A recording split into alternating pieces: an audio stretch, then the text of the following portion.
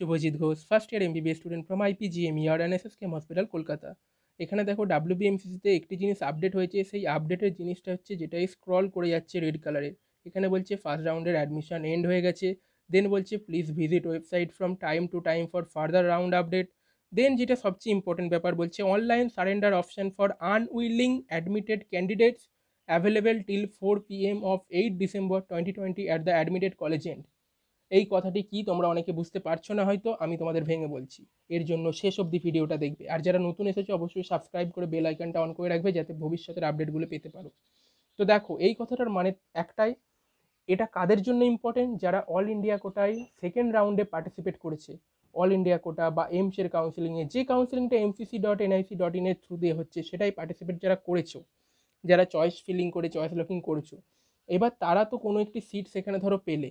তারপর সেখানে যখন ভর্তি হতে যাবে, তোমার তো ডকুমেন্টস চাই। যে ডকুমেন্টসগুলো তোমার এইচএসের মার্কশিট বলো বা অন্যান্য ডকুমেন্টস চাই। এবার সেই ডকুমেন্টসগুলো সবার কাছে নেই। কারণ কি? কেউ কেউ এরই মধ্যে কি হয়েছে? ওয়েস্ট বেঙ্গলের স্টেট কোটাতে অ্যাডমিশান নিয়েছে। ডাব্লিউবিএমসিসিতে কাউন্সেলিংয়ের থ্রু দিয়ে হয়তো কেউ আইপিজিএমএরে নিয়েছে, কেউ এমসিকেতে নিয়েছে। তো তারা সে, তাদের প্রয়োজনীয় ডকুমেন্টসের মধ্যে কিছু ডকুমেন্টস কলেজে জমা রেখে এসেছে এবং বন্ড পেপারে সই করা সেই বন্ড পেপারটিও জমা দিয়ে এসেছে।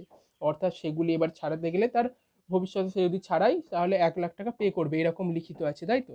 এবার তাদের চিন্তা এখন দাঁড়াবে যে আমরা সেই ডকুমেন্টসগুলো ফেরত পাবো কী করে? যেগুলো নিয়ে আমরা অল ইন্ডিয়া কোটার কাউন্সিলিংয়ের থ্রু দিয়ে পাওয়া এমসের সিট বা অন্য কলেজের ভালো কলেজের সিটটিতে গিয়ে ভর্তি হতে পারব অ্যালোটেড কলেজে তো সেই রিগার্ডিংই এই কথাটা বলেছি যে, তোমরা আটই ডিসেম্বর অবধি তোমাদের কাছে একটা উইন্ডো টাইম থাকবে ওই আটই ডিসেম্বর বিকেল চারটের মধ্যে তোমরা যদি তোমাদের অ্যালোটেড কলেজ যেটাতে তুমি ভর্তি হয়ে এসেছ ডাব্লিউবিএমসিসিতে কাউন্সিলিংয়ের থ্রু দিয়ে, সেই কলেজে গিয়ে তোমার প্রয়োজনীয় ডকুমেন্টস তুমি নিয়ে আসতে পারবে, তোমার সিটটি সারেন্ডার করে।